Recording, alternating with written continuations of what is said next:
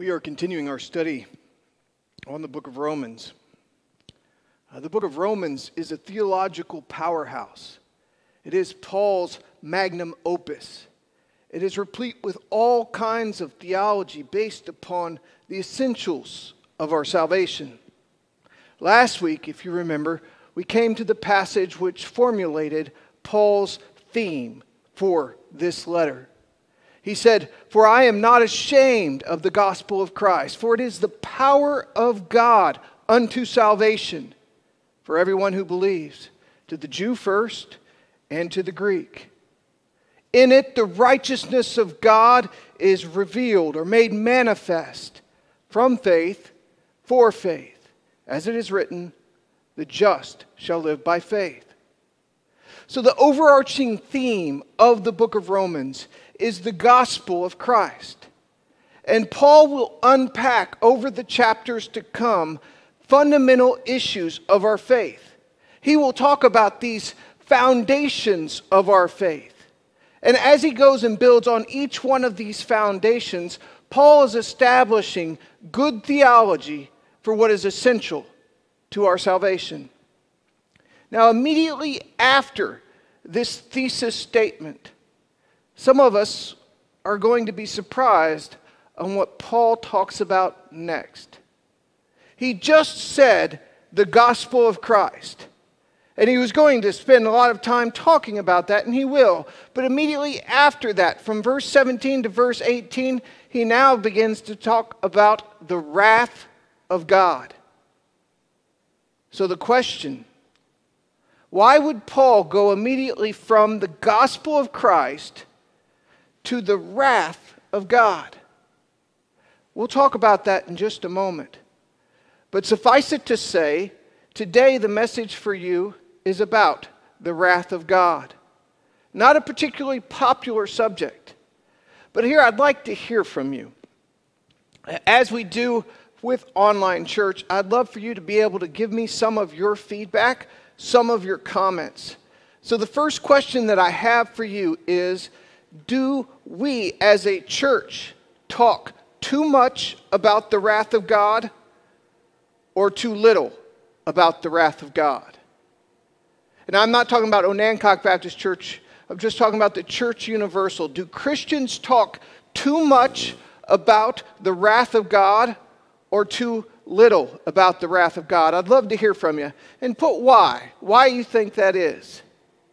Now, that being said, some would say, Pastor, the wrath of God is Old Testament. And that's true, it is. But it's also in the New Testament. Certainly goes without saying, book of Romans is in the New Testament. Some people would say, well, you know, when Jesus came, he did not come teaching the wrath of God, but started teaching love. And I hate to have to correct you, but Jesus did talk about love, no doubt. But he also talked about God's wrath. He also demonstrated God's wrath. We could look at John 3 for one example. We know John 3:16, for God so loved the world that he gave his only son. Whoever believes in him would not perish but have everlasting life. We know that. But if you were to look down at John 3:36, what does Jesus say? He says, "He who believes in the Son will have life. He who does not obey the Son will not see life, but the wrath of God remains on him. Jesus taught about the wrath of God. In fact, if we would just look at the eternal aspect of God's wrath, that is, punishment for sin in a place called hell, Jesus talked more about hell than any other person in Scripture. Arguably, Jesus talked more about hell than he did about heaven. So we could not say that Jesus just focused on love and not wrath. Neither could we say that Jesus never demonstrated God's wrath. Most of you are already thinking about the time when Jesus cleansed the temples throwing over the tables of the money changers, making a whip and driving them out of the house of God. Yes, he demonstrated the very righteous indignation of God. But yet, it's not a popular subject, and I understand that. But it is important nonetheless. One of the reasons why the wrath of God is not popular because our only point of perspective is the wrath or the anger of mankind. So we tend to look at God's wrath through the lens of our own wrath. Now, when we talk about human anger or human wrath, it is oftentimes unprovoked, oftentimes unrighteous, oftentimes uncontrolled. Human wrath or human anger can be quick and explosive, or in the form of resentment, it can burn low and slow and never stop. That is not like the wrath of God. The wrath of God is much different than human anger. It is always righteous. His indignation comes always from injustice. It's always pure. It's always for a purpose. The wrath of God is always controlled and always full of compassion. So, as we understand the wrath of God, we've got to understand it different than we do human anger.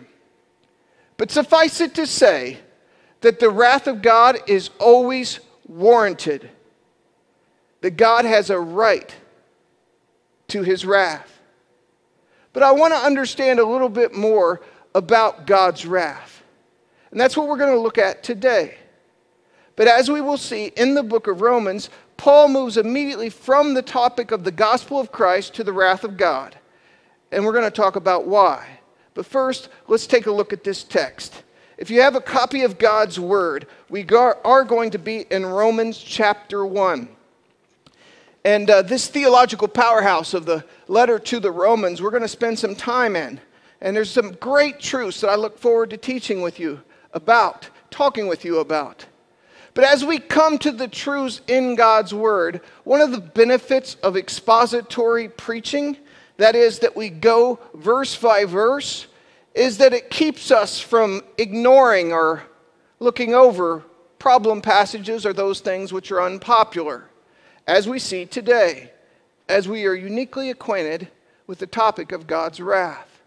So let's take a look. Romans chapter 1, and we are going to begin reading verse 18. So, as you are able, as you will, if you'd stand for God's reading of the holy, inerrant word. Verse 18, Romans chapter 1 For the wrath of God is revealed from heaven against all ungodliness and unrighteousness of men, who by their unrighteousness suppress the truth.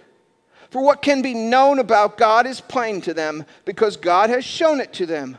For his invisible attributes, namely his eternal power and divine nature, have been clearly perceived ever since the creation of the world in the things that have been made, so they are without excuse. For although they knew God, they did not honor him as God or give thanks to him, but they became futile in their thinking, and their foolish hearts were darkened. Claiming to be wise, they became fools, exchanged the glory of the immortal God for images resembling mortal man, and birds, and animals, and creeping things. Therefore, God gave them up in the lust of their hearts to impurity, to dishonoring the bodies among themselves, because they exchanged the truth about God for a lie and worship and serve the creature rather than the Creator, who is blessed forever.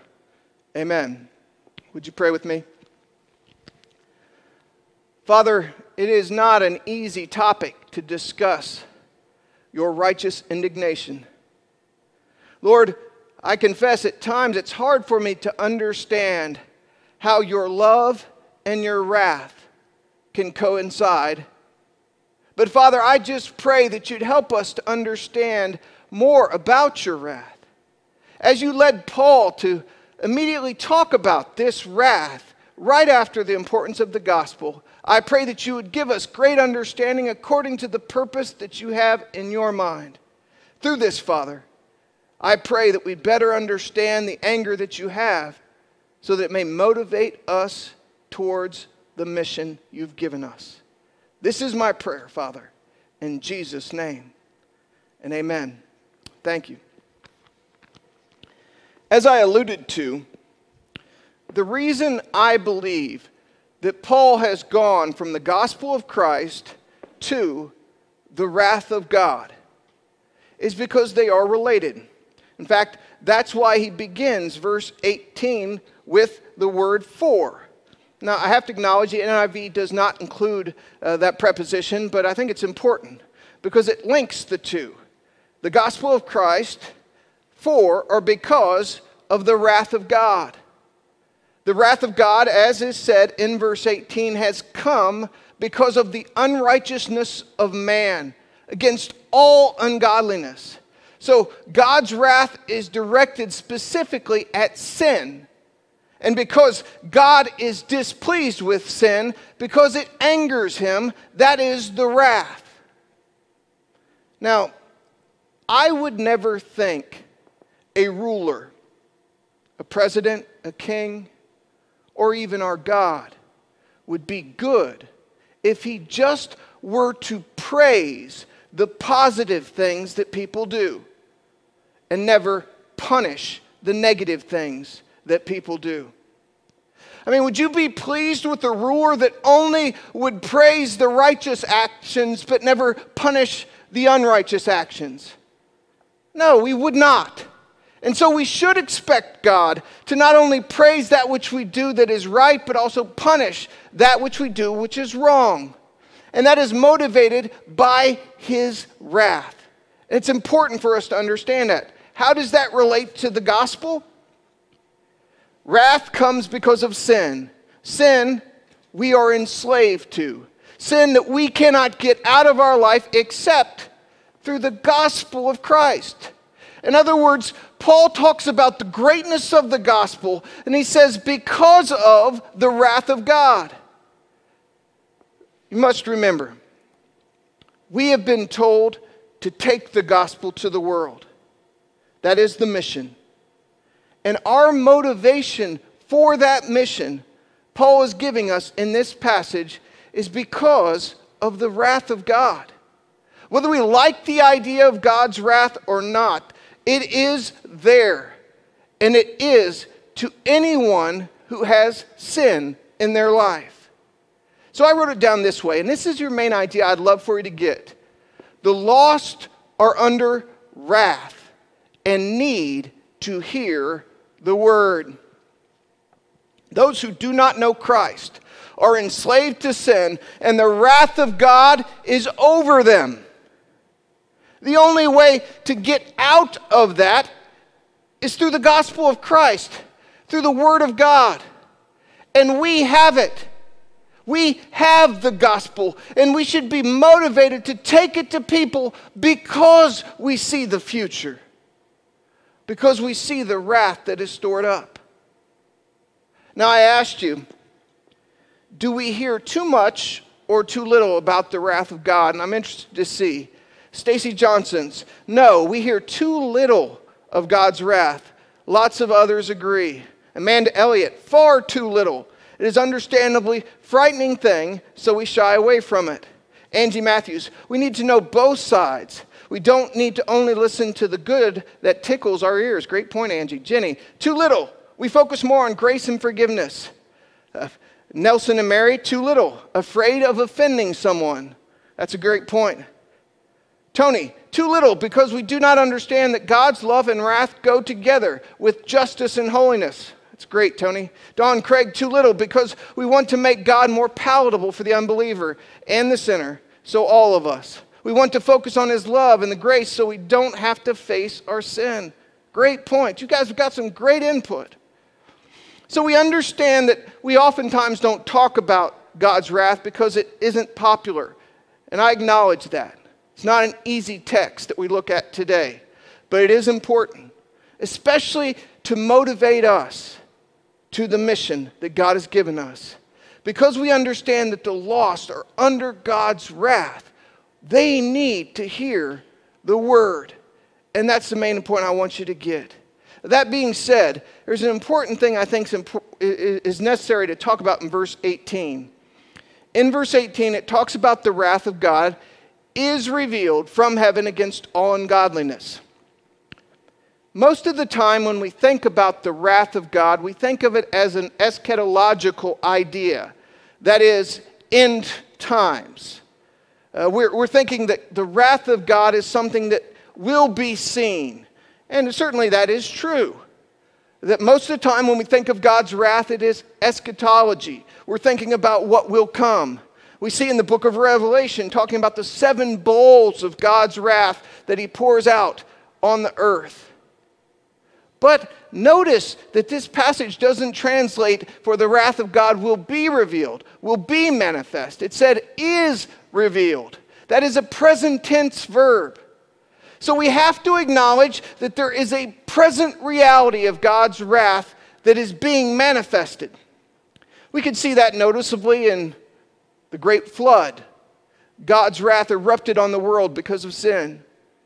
We could also see that many times, like for instance on the nation of Egypt, because they had enslaved the Jews. A pestilence came about out of God's wrath. This brings me an important point because the question is Is COVID 19 because of God's wrath? Now, let me say this again.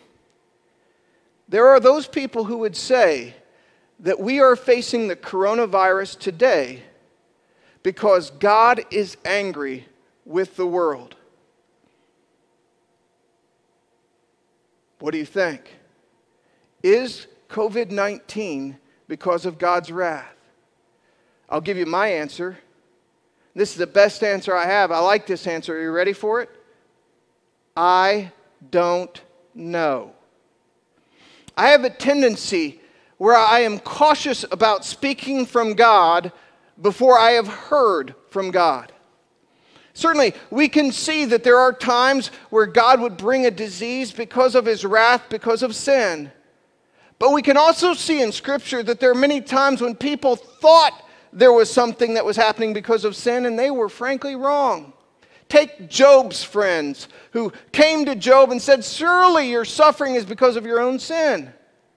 So I, I, I really would encourage you to be cautious about just assuming because there is something negative on earth that is because it is a, a response, God's response to our sin. And we don't know that.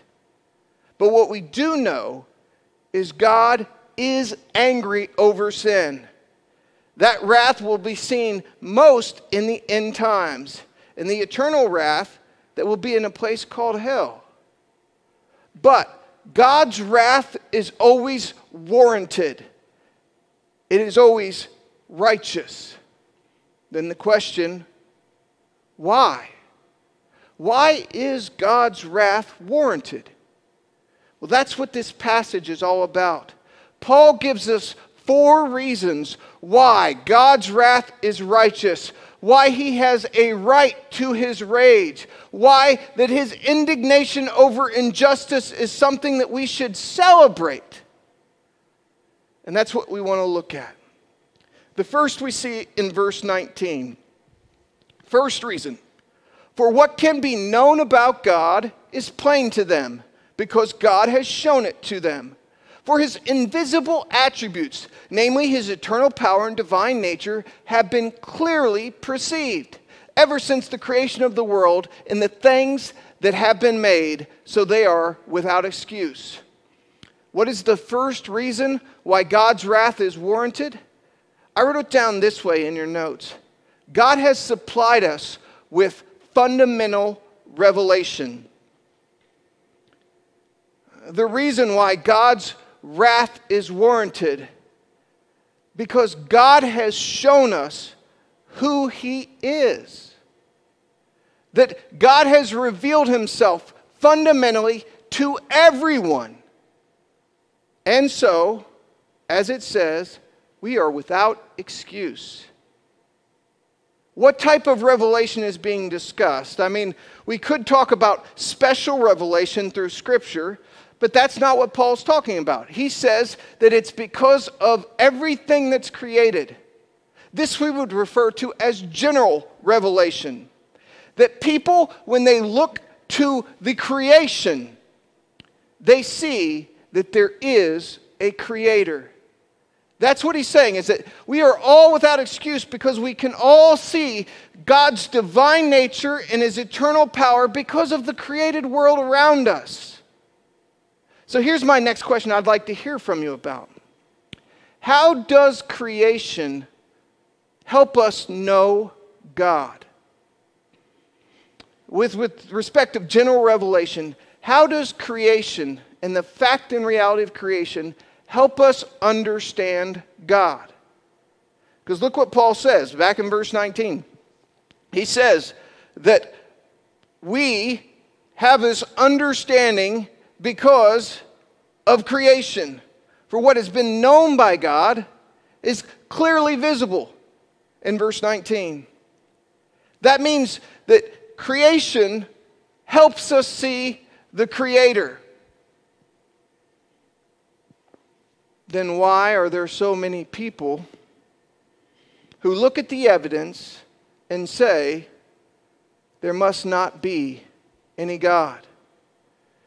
If we understand that creation always points to a creator, why is it then that many people would say, there is no God?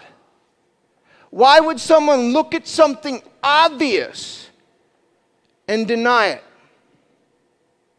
I say that shouldn't really surprise us.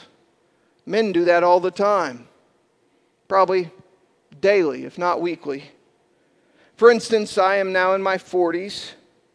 One thing that should be obvious to me is that my body is not as young as it used to be. I am not as strong or agile as I used to be. This is obvious, especially to my children who remind me of that. Occasionally, my wife will remind me, obvious to her. But yet, there comes an opportunity for me to demonstrate my strength and my agility. And overlooking the obvious, I try to demonstrate my strength as if I was still a young man. Why? In a word, pride. It is through the sin of pride that causes us to overlook some obvious things in this case, the evidence that is that that God exists. Now, that being said, if we are proud, we will choose not to acknowledge God, but we will choose to rather pretend He's not there. Because if I am in my own pride, I do not want to acknowledge that there is a God that is over me. I want to acknowledge only myself. So it's much easier if I just choose to believe that there is no God. And so pride will cause people to look past the evidence that is obvious. We'll look at that more in just a second. But here's an important question Is general revelation sufficient for someone to get saved? We see in this text that God's power, his divine nature are obvious because of creation. Is that enough for someone to get saved? No, it's not. The Bible tells us that's why we need to hear the gospel. The created world general revelation is sufficient for condemnation. We are without excuse. We should see that there is a God and that He is powerful, and we should live our life seeking Him. But it is not sufficient to know that Jesus died for us, that if we receive Him by faith, we will be forgiven our sin. And that's why we need to share the gospel. And I will say that I believe if a person responds to general revelation by faith, a sovereign God will make sure that person hears special revelation. In other words, someone over in some third world country, if they see that there is a powerful God because of creation and they reach out seeking God, whether it be through a publication, a missionary, or, or radio, internet, God will make sure sovereignly that person hears the special revelation that is the gospel, the Word of God. But all the more reason why we need to be faithful in sharing God's Word. Because it is true, God's wrath is warranted because He's already supplied us with fundamental revelation. But people look at that which is obvious, pointing to God, and what do they do? Take a look at the next verse in verse 20. Verse 21. Uh, for although they knew God, they did not honor him as God or give thanks to him, but they became futile in their thinking, and their foolish hearts were darkened.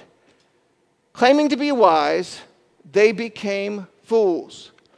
So we first have people looking past the fundamental revelation pointing to God.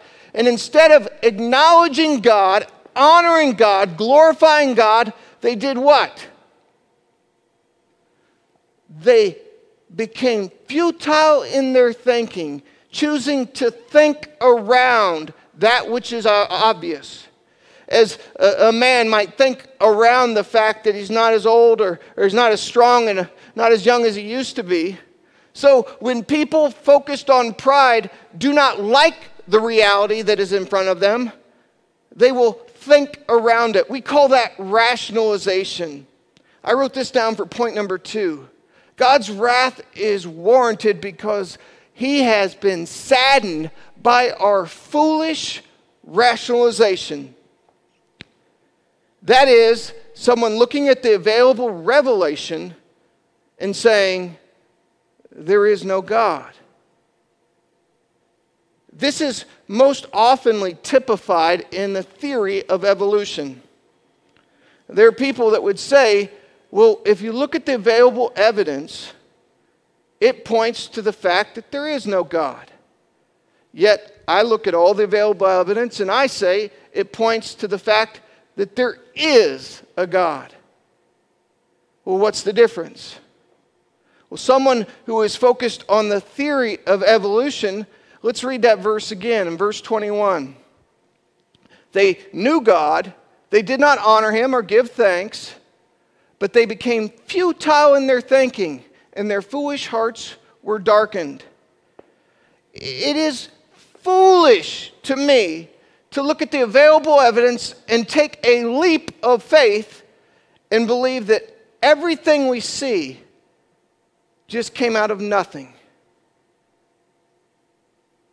To put it another way, the example is often say you were on a beach. You're not supposed to be on a beach right now unless you're exercising or fishing. So let's say you're exercising and you see there in the sand a Rolex watch. Would you immediately assume that that watch has come to being by natural occurrence. That somehow that this design came about out of nothing. Or would you assume, as a rational human being, that because of the design, there must be a designer?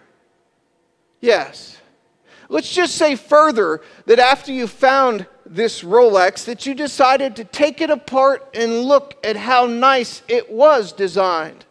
Let's say that as you take this watch that probably cost $7,000 or more, you took it apart to its final pieces. I mean, you broke that down to where you could not take it to any smaller pieces.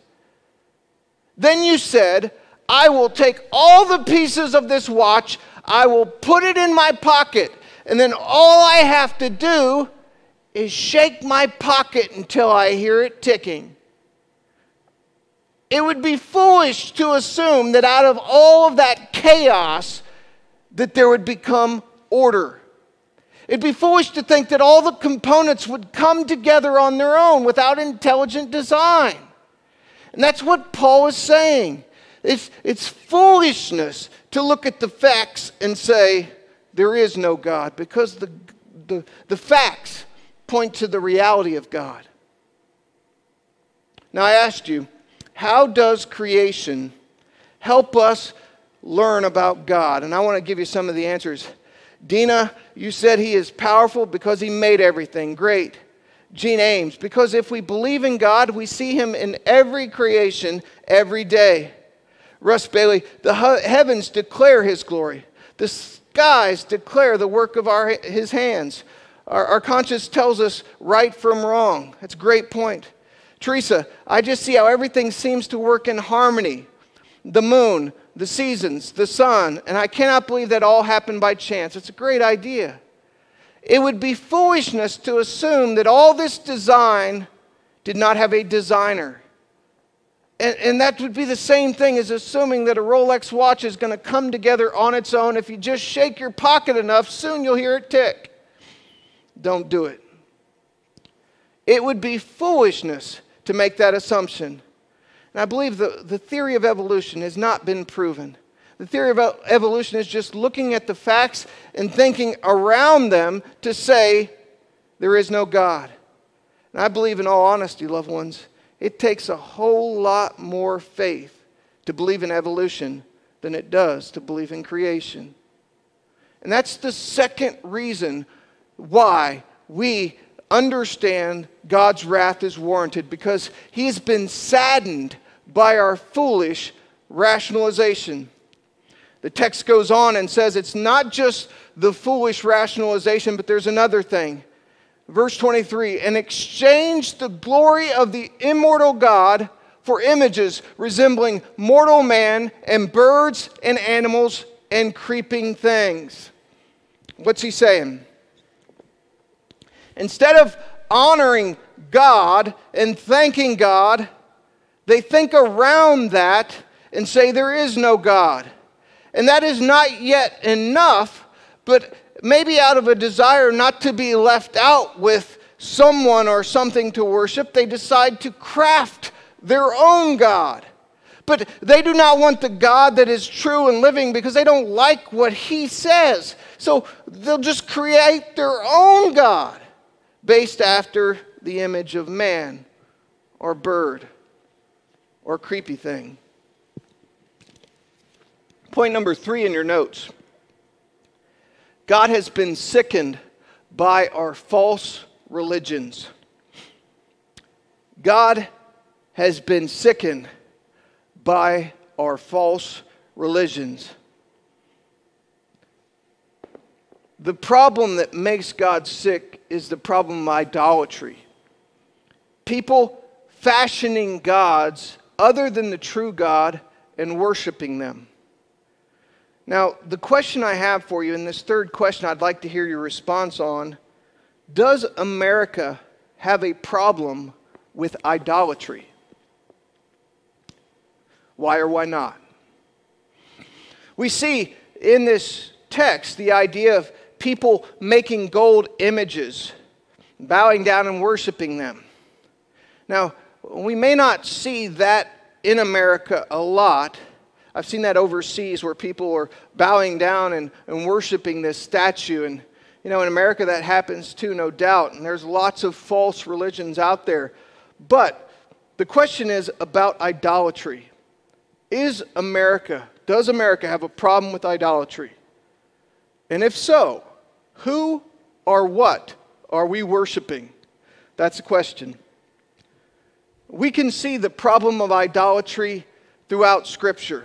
We see very early on, God says, don't worship any idols. Don't worship any graven image. Don't bow down and worship anything other than me. But even the very nation of Israel struggled with idolatry. You can see in the book of Exodus, they have just been taken out of Egypt. They've seen all these miraculous things. And after seeing all these miracles, the very working of God to liberate them from their slavery, Moses goes up on the mountain. While he's up there, people begin to wonder when he's going to come down. They get impatient. So, what do they do? How about we take all of our gold, we bring it together, and we'll make a calf out of it. That's a great idea. Then we can all worship this calf. You know, you look at it and you kind of say, well, how on earth did the people see the true and living God demonstrating all these miracles so quickly then turn to idolatry? Well, that's human nature.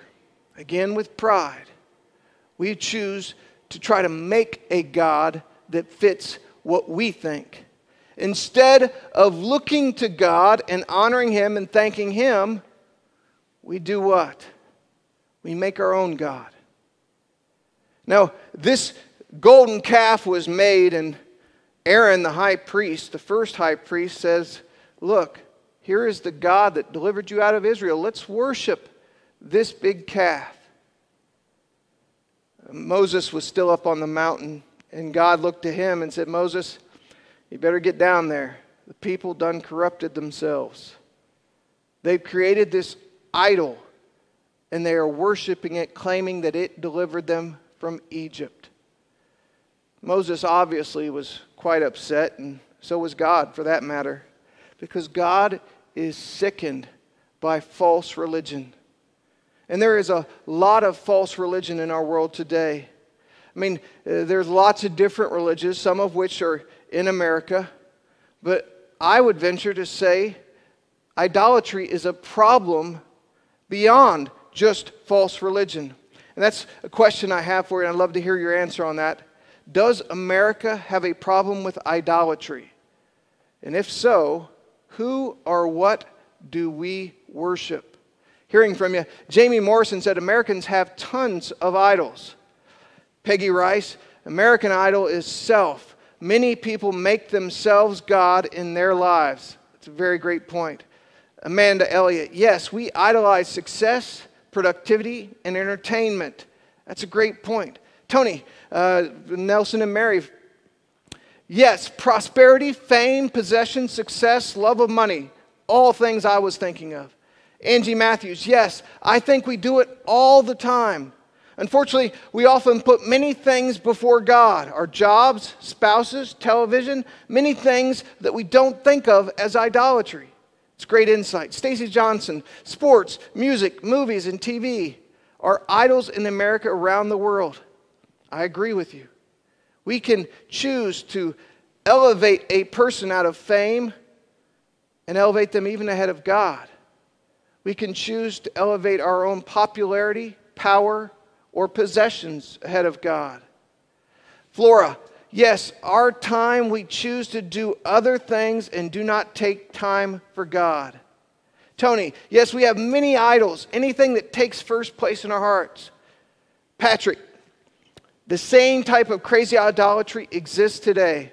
Look at the new age stuff that pops up. Now society is trying to make our own planet and environment God.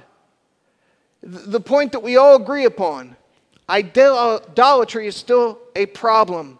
It may not be that we would take a golden calf and bow down and worship it, but how many things take first place in our life instead of God?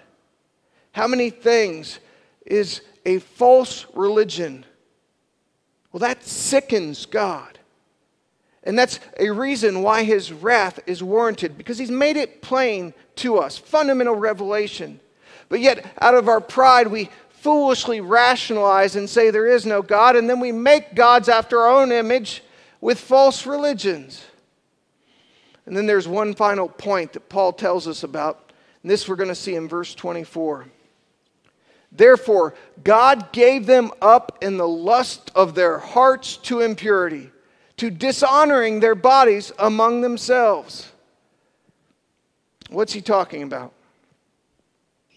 At first glance, it seems like God is complicit towards sin. God gave them up to the lust of their hearts and impurity. We, we, we should obviously understand that that's not the case.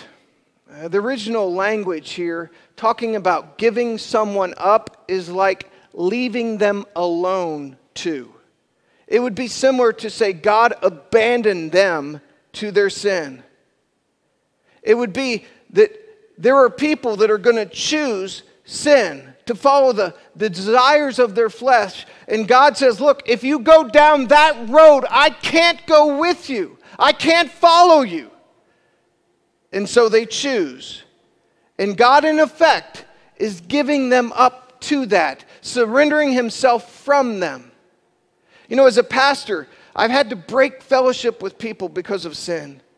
You know, it, may not surprise you, but there have been men that have come to me and say, Hey, I'm abandoning my wife. They didn't say it that way. They say, You know what? I'm leaving my wife and I, I'm going to go marry somebody else. And I say, Brother, if you do that, I, I can't follow you down that road. That is not good. Uh, you know, I, have had women that would say that they are engaging in an extramarital affair, but they're not going to stop. They, they feel like, okay, it's probably all right as long as my husband doesn't find out, and even if he does. People that are so consumed by dishonesty that they can't just say, I was lying. All of these things happen, and I, as a pastor, have to say, Look, I can't go with you down that road. The difference is I couldn't stop them if I wanted to. I do not have the power to force someone not to sin, but God does. So, in effect, God is giving them over to this because He's choosing for them to have their own free will rather than restraining them against their will, making them do what is right. That's all the text is saying. And so I wrote it down this way for point number four God has surrendered them to their fleshly rebellion. Why is God's wrath warranted? Because God has surrendered them to their fleshly rebellion. There will be two types of people at the end of time. There will be those people who look to God and say, Your will be done. And then there will be another group of people to whom which God will look to them and say, Your will be done.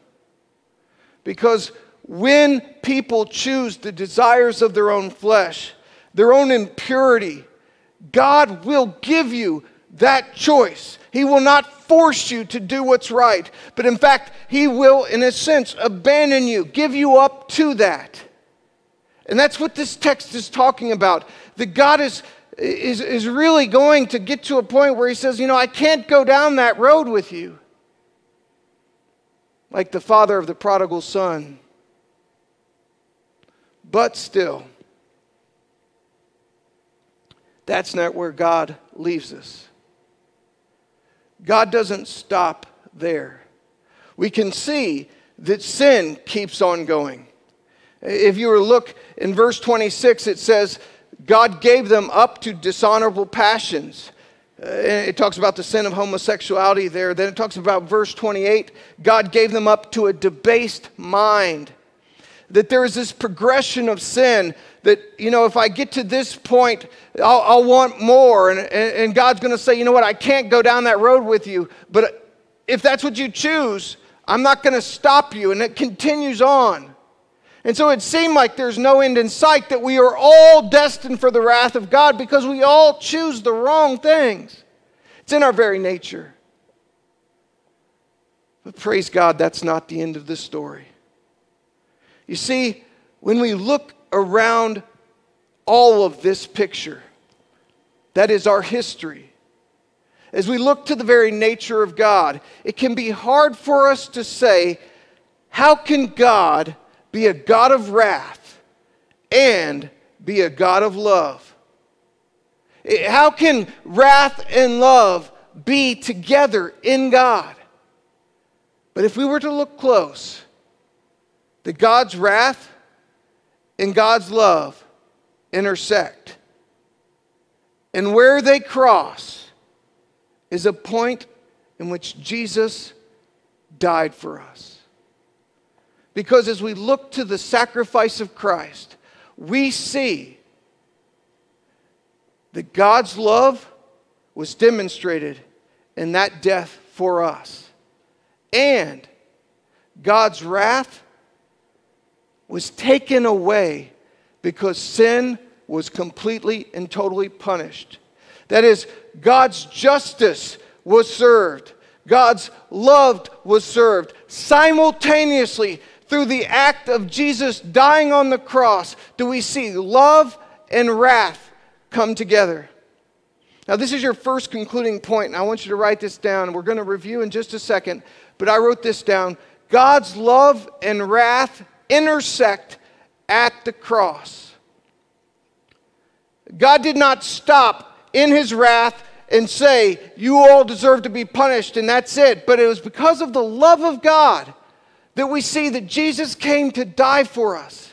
It's because of that great love that the wrath was no more. If you are a follower of Christ, you are not under wrath because Jesus paid the price for you. But if you are not a follower of Christ, if you've not received Him as your Savior, you are under God's wrath. Now let's go back to the main idea, and I want to review one point after, and then we'll be done. The lost are under wrath and need to hear the word. We understand that God's wrath is justified. We understand that the only way out of God's wrath is to be forgiven of our sin through what Jesus did for us. We give you four reasons in this text why God's wrath is warranted. Point number one God has supplied us with fundamental revelation. Secondly, God has been saddened by our foolish rationalization. Thirdly, God has been sickened by our false religion. And God has surrendered them to their fleshly rebellion. If we continue down sin, God will abandon us on that end. And that road of sin ultimately leads to a point where God is not and will not be for eternity. That place called hell is a place where people will be forever separated from God. That is God's eternal wrath. Now, I hate when people say, Why would God send anyone to hell if He's loving? God never sends people to hell in the sense He doesn't want anyone to experience His wrath. Second Peter says that He's not willing that any should perish, but all should come to repentance. And not only that, but in 1 Timothy 2, it says that God desires for all people to be saved.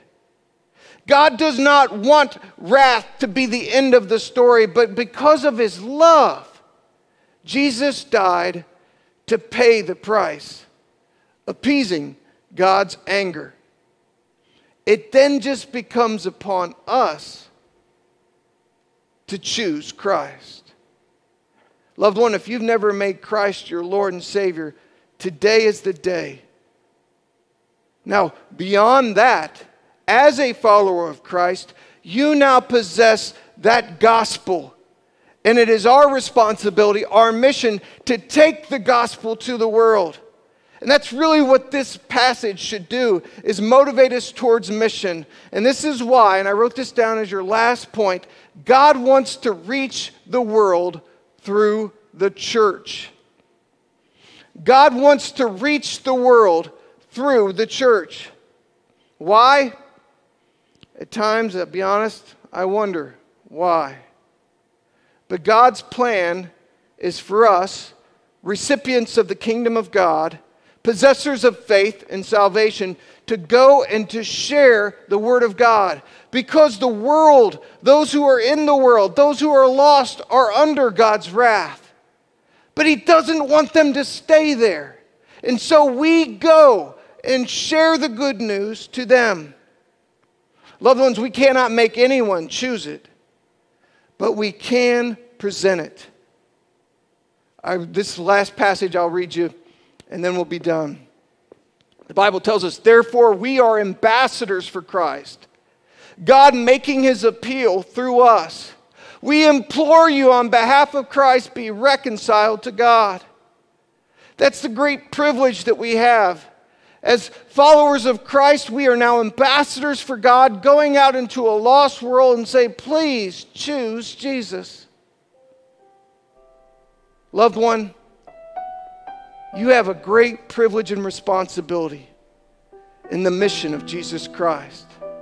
It is my prayer that as we understand this mission and the motivation for this, that we would be faithful in sharing Jesus to others. Last week, I challenged you to be praying for one person uh, that you'd have the opportunity to share your faith with. Some of you may have already been able to share your faith, and I praise God for your faithfulness. If not, keep praying and keep looking for the opportunity to share. My challenge is still the same. Choose one person, pray for them daily, that they would come to know Jesus, that you would have the opportunity and the courage to share with them. That's my challenge to you. Let's pray. Father, you've given us a great privilege and a responsibility of being your ambassador to the world. Lord, we have to acknowledge that you are angry with sin, that you do not tolerate it and you will not last forever looking at it. But Father, although we may not like the topic of your wrath, it is all more real. And Lord, I just pray that it would motivate us to go out into the world and to share your love. That as we understand your wrath and your love intersecting at the cross of Jesus Christ, we can tell the world, we can plead with them to be reconciled to you. So, Father, we're praying for specific people, praying that you'd give us the courage and the opportunity to share in this, Lord. We pray that lives would be changed for all eternity. So much is going on in our world today. People are asking questions. And Lord, we have the answer because the answer is you.